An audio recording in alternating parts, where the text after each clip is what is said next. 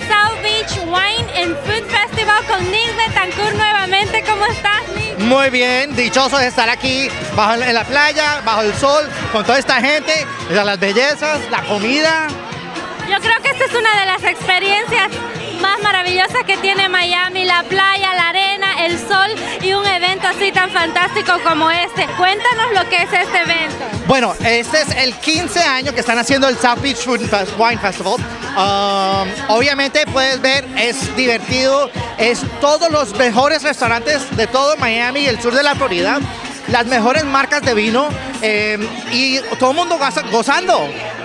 Yo creo que esta es una degustación de vino, de comida, los mejores restaurantes, los celebrity chefs. Eso es muy importante recalcar, que cada chef que tiene un programa de televisión, una marca, un libro, está acá presente. ¿Quiénes estarán esta, esta tarde acá? Bueno, ah, ya poco a poco hemos ido conociendo a algunos de los chefs que, están, que salen en televisión eh, y vamos a, ver, a aprender un poquito de qué es lo que hacen y cuáles son los trucos de ellos en la cocina, porque todo esto se trata es de la culinaria, es el mundo culinario que está aquí en Miami.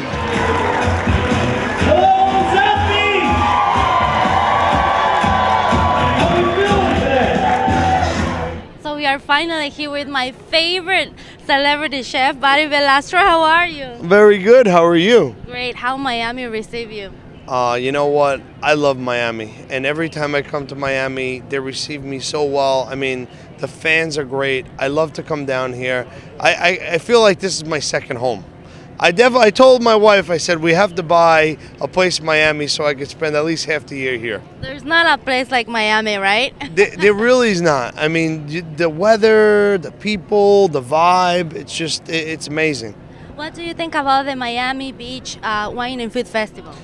Oh, you know, being here at the South Beach Food and Wine Festival has been an amazing experience. Uh, I mean, so many great celebrity chefs, so many great different foods from all over the world uh, and different flavors and, and the wine. And it's just a great party time. I mean, look, we're in paradise and we're walking around and it's not hot, but it's not cold. It's it's crazy.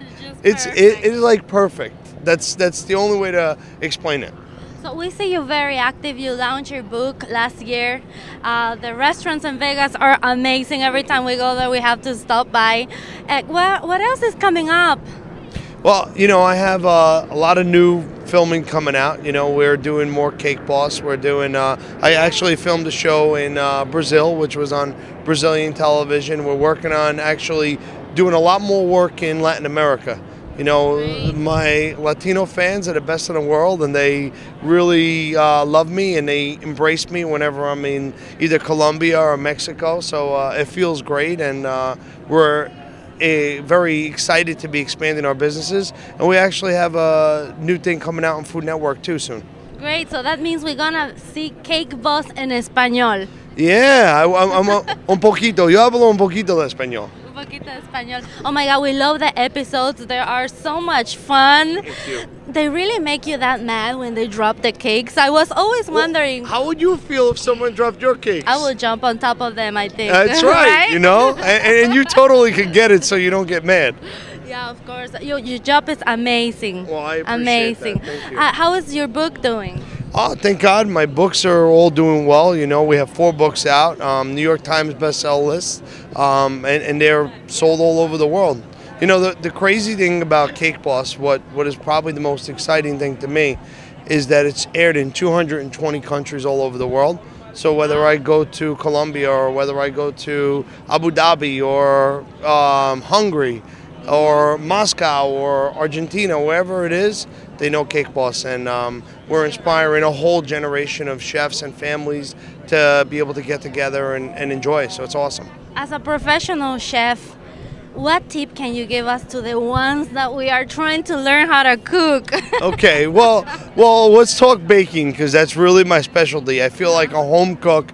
Um, well, I'll cook you a great meal, but when it comes to baking, that's my forte. Uh-huh. And, um, you know, so if you're baking a cake in your oven, always put an external thermometer inside because of the fact that sometimes you put 350 but it's really 375 and that could make your cookies overbake or your cakes crown in the middle um, you You know, I also think that when you bake at home in your oven, bake on the middle shelf because if you bake on the top and the bottom, it kind of burns from the bottom or burns from the top. Uh, and baking is a science. It's not like cooking, a little extra salt, a little whatever. Follow the recipe and try to understand the chemistry of what's happening.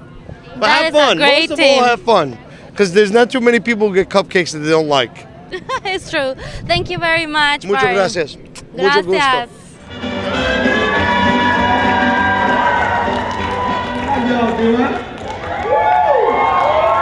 Bueno, estamos aquí con estilo, con Aaron Sánchez. Sí, me da mucho gusto, gracias. ¿ah? Ahora, dígame, eh, ¿qué es el, el, fes- el festival en sí para usted? ¿Qué cosas tienen alineadas para, para hoy en día?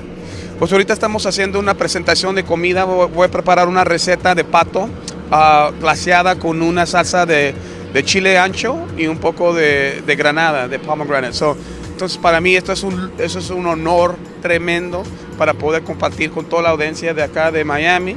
Tengo muchos fans acá y lo agradezco mucho todo su apoyo. Bueno, y sé que ahora últimamente acabaste de abrir el restaurante en New Orleans, ¿no? Sí, se llama Johnny Sánchez, aquí tengo la camiseta y es, es, este, una mezcla de, de mi, mi mejor amigo el John Besh, que es un gran chef ahí en, en Nueva Orleans y nosotros estamos trayendo los, los, este, el sabor de México a Nueva Orleans. Tenemos la- el menú está al, al base de tacos y muchos platos tradicionales, pero hecho, hecho de una manera un poco más sofisticado y un poco más elevado, ¿me entiendes? Sí.